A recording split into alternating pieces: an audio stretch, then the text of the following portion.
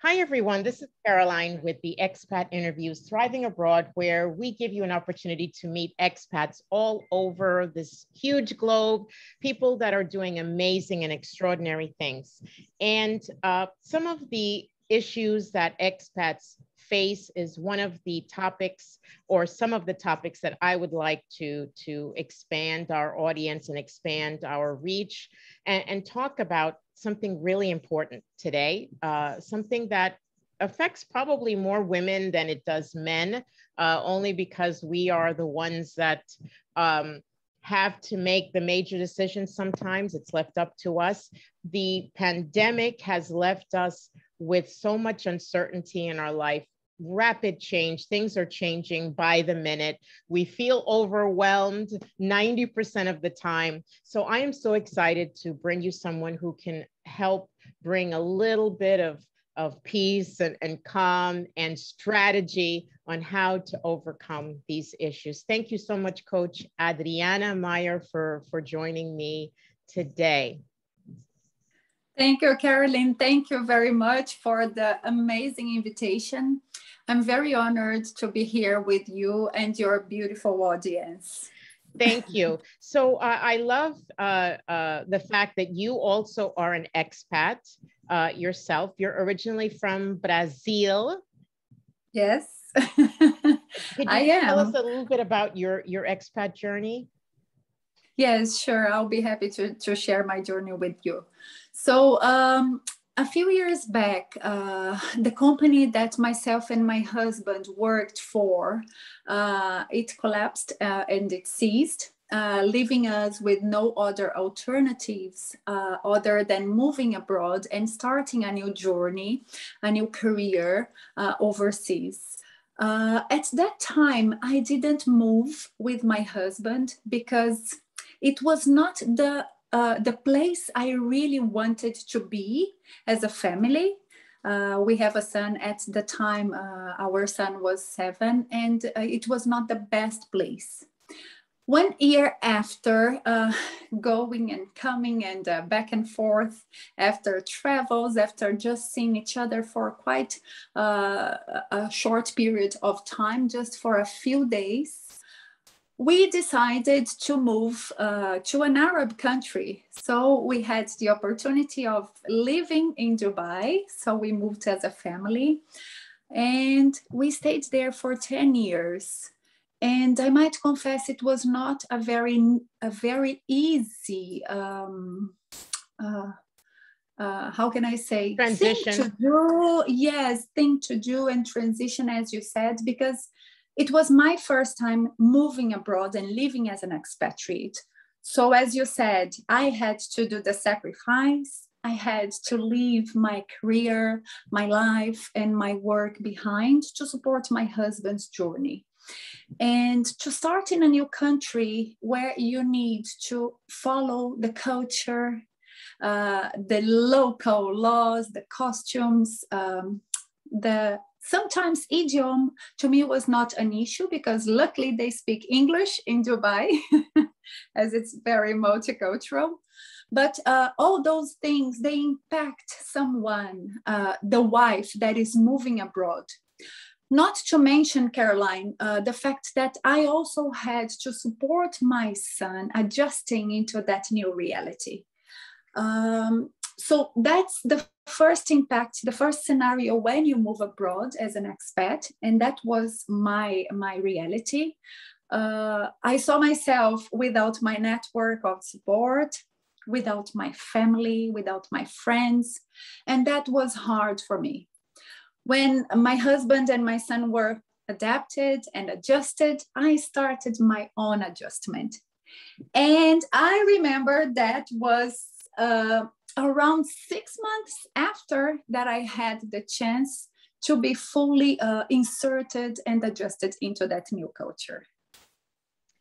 And, and I feel like that is quite uh, an adjustment going from, uh, you know, from a place like Brazil, which is so, uh, it, it's a different vibe, a, a totally different culture, yes. more laid back, more free. And then you go to a mm-hmm. more sophisticated uh, place like Dubai. So I, I, could see that, that, that change.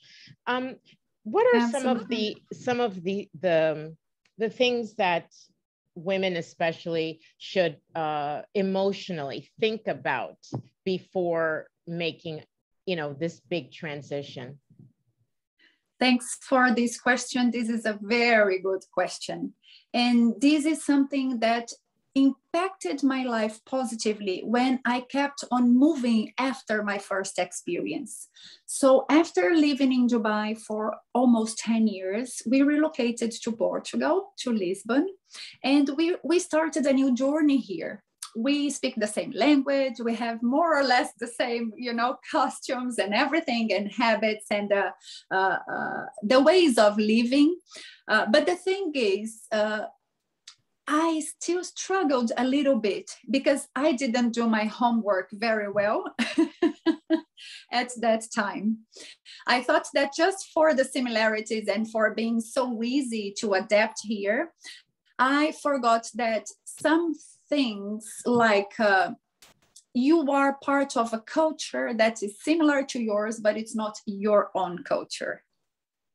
So this makes the total difference. And when you come with a mindset like that, you will find uh, better opportunities you will find a better uh, adjustment because you will not create uh, uh anticipated expectations so the best advice i could give to women that are um, in this situation that are moving or thinking of moving abroad uh, as an expatriate, don't create expectations.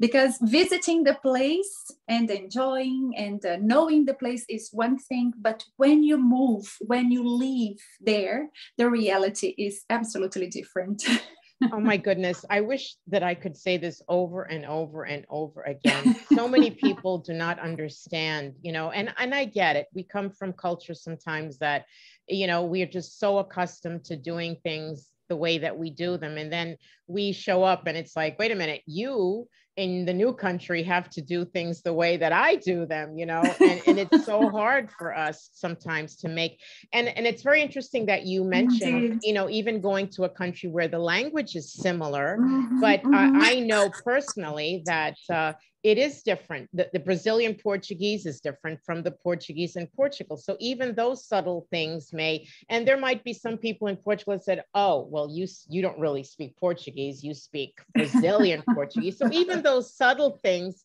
you know, maybe things so that true. you really have to, to get a, accustomed to. Um, when you're, you're traveling with children, um, are there I mean, other, I know there are other elements to it, but what are some little things that we can do to help our children adjust also? Yeah, this is one of the things that I've done uh, from my own experience based on my own journey, but also from the work I've been doing with expatriate women as a coach for expats. So uh, I would say just talk to your children before you move.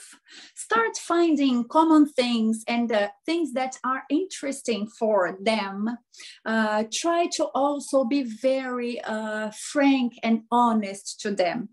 So allow them to explore the growth mindset and understand that embracing the challenge, embracing the new journey is not going to be easy you empathize with them, you hear, you feel their sorrows, all the expectations, but at the same time, open the space for them to explore new things, uh, to meet new people, and to try because life nowadays is so broad. and uh, with the pandemic, as you said, uh, we understood that it's much more than, you know, living on a repetitive uh, a routine or doing things that we are only used to do in our comfort zone. That's true. That's true. Mm-hmm. So tell us a little bit about what you do in the expat uh, space with your coaching. How do you help uh, uh, women, especially? How do you help them uh, with what you do?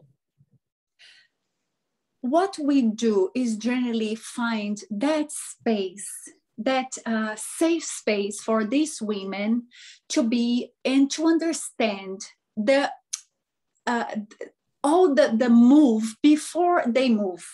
So I always play that uh, and say, I have uh, some sayings and uh, I, I, joke uh, with my clients that as the relocation company will take care of your belongings, with your uh, clothes, your things, your uh, anything that is dear Material. to you material absolutely and uh, and uh, the resources you have there. I'm going to support you emotionally i'm going to take care of all your internal resources and everything so you can flourish in the new country so you can adjust better. And it doesn't mean you're not going to face the challenges the obstacles or you're not going to feel you know uh, feel lonely sometimes. You're not going to feel you don't belong to that country. But it's just a way of understanding what are the options what are the things you can do before you move during you move and after you're relocating? Do you offer workshops uh, personal one-on-one coaching or group coaching?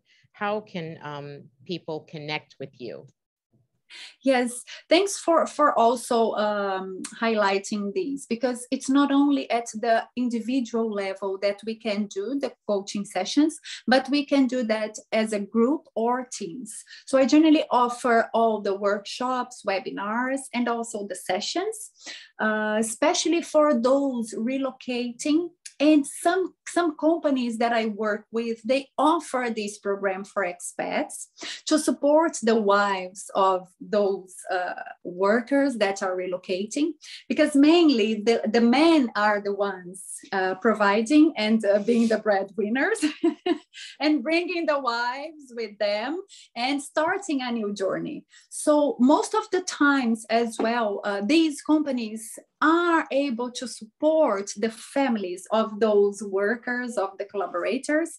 And when this happens, it's an amazing journey and easier for everyone relocating. Sure. And yep. That's important and when Caroline, you live with your husband. Sure. Yeah, yeah. And also, I would like to add something that when I moved, uh, after I came to Portugal, uh, I relocated to Qatar. So I was back to the Arab world and uh, I've been living there now, but currently I'm in Portugal on holidays. But one of the things I did when I relocated to Qatar I decided to create a new initiative for women that are expats and entrepreneurs. Because what we also witness and see from the testimonials and from the feedback of these amazing women is that most of the time they can't conciliate their family time with their career or profession.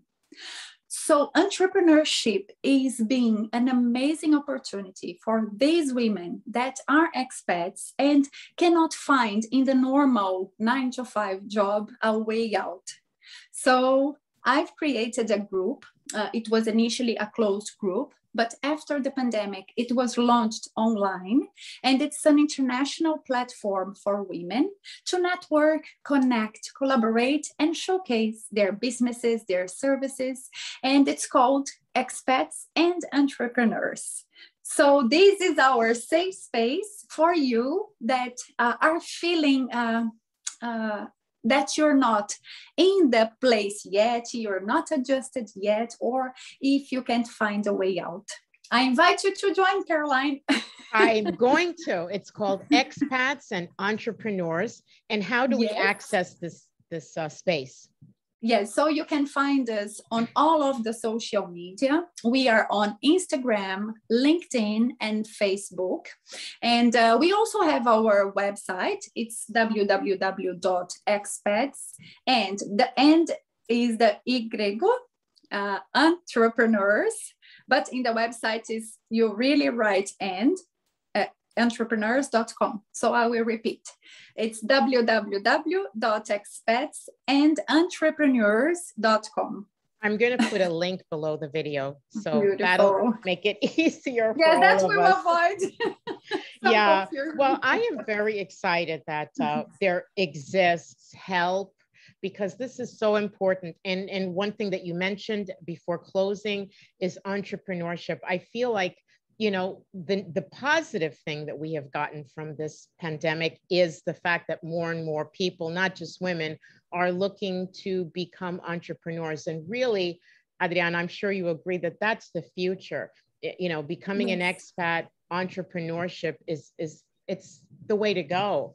Um, Absolutely. It, there, I I can't think of anything uh, that's going to really help our lives, you know, moving forward than just doing our own thing and, and getting the satisfaction from just being you and being able to be you and, and do what you do best. So thank you so much, uh, Coach, for taking the time out of your busy schedule to, to talk with us today. And I'm going to make sure that we put all of your information on, on our video so that others can reach out. And I am going to be joining your expats and entrepreneur group. I feel like it's super important, and I invite everyone to please do the same. Uh, we need all the help we can get. You never can get enough help, and and hopefully uh, there will be people that reach out to you on a personal level that feel that they they need to connect with you personally. Um, before we go, Thank any you. any last words of advice for someone who is considering moving abroad and they feel a little bit lost and confused, just one little piece of advice. Thank you, Caroline. Thank you for your beautiful initiative because uh, by uh, having access to work like yours and through your work through your beautiful initiative we are able to support more and more women and uh, my last advice if i could say something very useful from my own experience i could share that what i did um, when i moved here uh, to qatar uh, the country i'm living now so I didn't really create the expectations, as I said. I tried to research everything about the country. So from school for my kids to, you know, places where I could work or I could start connecting. And the most valuable one, become part of a networking platform. That undoubtedly will be your starter point to connect with the local people where you will feel embraced, you will feel supported, you will feel that the initial steps are easier when you have someone that care for you. So that's my I love my it. personal it's, advice. It's great advice and so important. Coach Adriana, thank you so much. And uh, we look you. forward to to reaching out to you and becoming a part of your wonderful network of, of helping and sharing for us women expats out in the expat world. Thank you again. Thank you, Caroline. Thank you so much. And let's stay connected and support each other. For sure. Sending love. Bye bye.